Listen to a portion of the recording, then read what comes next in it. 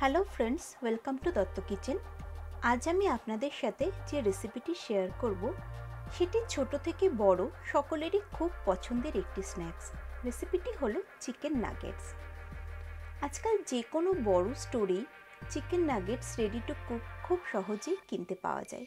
কিন্তু এই packet ফুডগুলিতে preservative use করা হয়ে থাকে, যা কিনা আমাদের সকলের স্বাস্থ্যের পক্ষে খুবই ক্ষতিকারক। বাচ্চাদের টিফিনে হোক বা স্ন্যাক্স হিসেবে যে কোনো সময় আমরা চিকেন নাগেটস খেতে সকলেই খুব পছন্দ করে থাকি। চিকেন নাগেটস কীভাবে খুব সহজ পদ্ধতিতে আপনারা বাড়িতে বানাতে পারবেন আর কীভাবে অনেক দিন পর্যন্ত স্টোর করে রাখতে পারবেন, আজ আমি সেটি শেয়ার করব। আপনারাও বাড়িতে ট্রাই করে দেখতে পারেন। তাহলে বেশি দেরি না করে আমি রেসিপিটি শুরু করছি।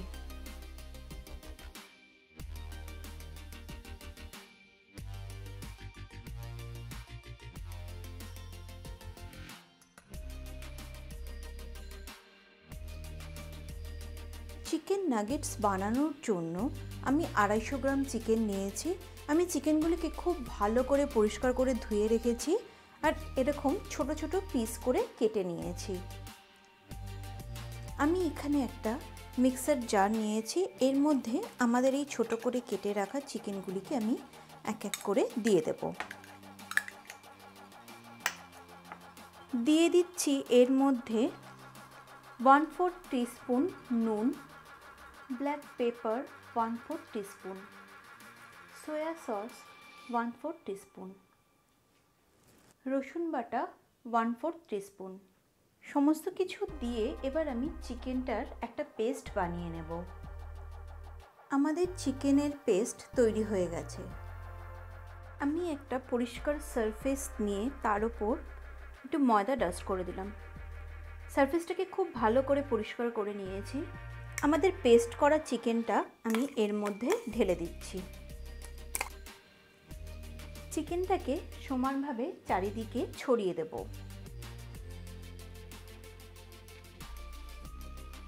আমি স্প্যাচুলাটাকে সামান্য একটু জলে ভিজিয়ে চিকেনটাকে সমস্ত দিকটায় সমান করে স্প্রেড করে দিচ্ছি। তাহলে আমাদের কাটতেও সুবিধা হবে আর শেপটাও খুব সুন্দর আসবে।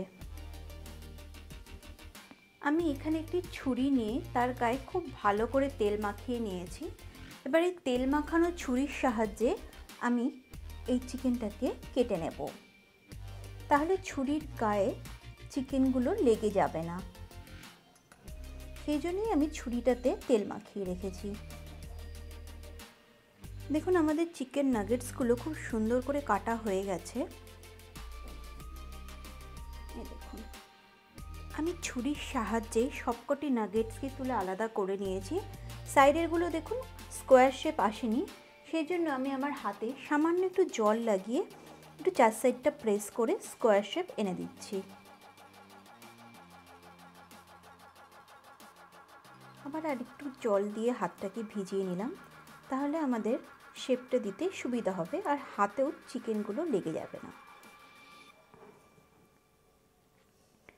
এই দেখুন, আমি এইটিকে স্কোয়ার শেপ দিয়ে নিয়েছি। আমি এখানে ব্রেড ক্রাম্প নিয়েছি। তার মধ্যে দিয়ে দিচ্ছি ওয়ান পিঞ্চ নুন ওয়ান পিঞ্চ ব্ল্যাক পেপার এবার আমি নুন আর ব্ল্যাক পেপার পাউডারকে ব্রেড ক্রাম্পের সাথে খুব ভালো করে মিশিয়ে নিচ্ছি। আমি একটি বাটি নিয়ে নিয়েছি। তার মধ্যে দিয়ে দেব একটি ডিম।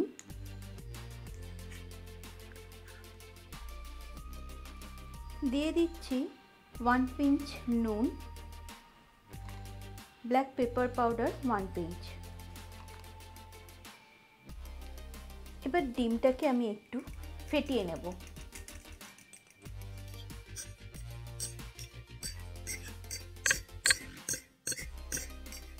এবার আমরা চিকেন নাগেটসগুলোকে ময়দার ওপর দিয়ে দেব।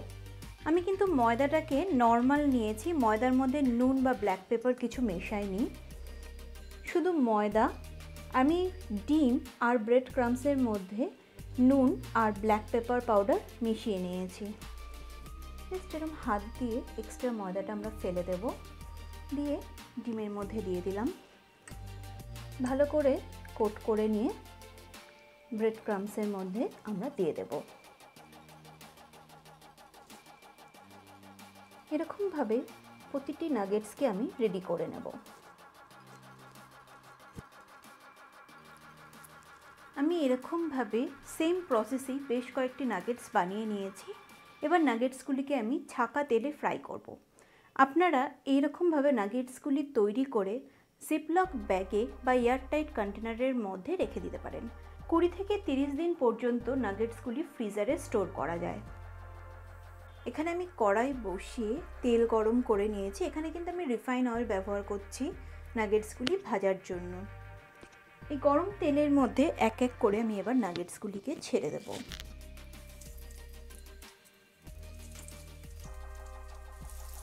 আমি লো ফ্লেমে নাগেটসগুলিকে ভাজবো, তাহলে পুরো ভেতর অবধি খুব সুন্দরভাবে নাগেটসগুলি ভাজা হয়ে যাবে। আমি নাগেটসগুলিকে লো ফ্লেমে ভেজে নেব, তাহলে পুরো ভেতর অবধি খুব সুন্দর করে নাগেটসগুলি ভাজা হয়ে যাবে। নাগেটসগুলি দেখুন, একটি সাইড কিন্তু খুব সুন্দর করে ভাজা হয়ে গেছে।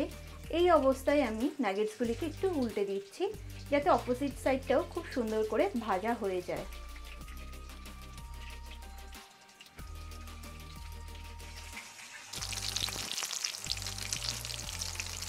দেখুন নাগেটসগুলি দু সাইডই আমাদের কি সুন্দর গোল্ডেন ব্রাউন হয়ে ভাজা হয়ে গেছে। দু সাইডেরই কি সুন্দর গোল্ডেন ব্রাউন কালার এসে গেছে। এ দেখুন। এবার আমি নাগেটসগুলিকে একটি প্লেটের মধ্যে তুলে নিচ্ছি।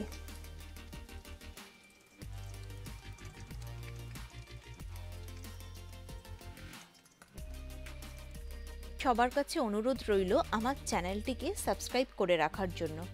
পাশে থাকা বেল আইকনটিকে প্রেস করে অল করে রাখবেন। তাহলে আমার চ্যানেলে আমি যা যা ভিডিও পোস্ট করব সবগুলির নোটিফিকেশন আপনারা পেতে থাকবেন। আমার রেসিপিটি যদি আপনাদের ভালো লেগে থাকে, তাহলে লাইক, কমেন্ট এবং শেয়ার করবেন।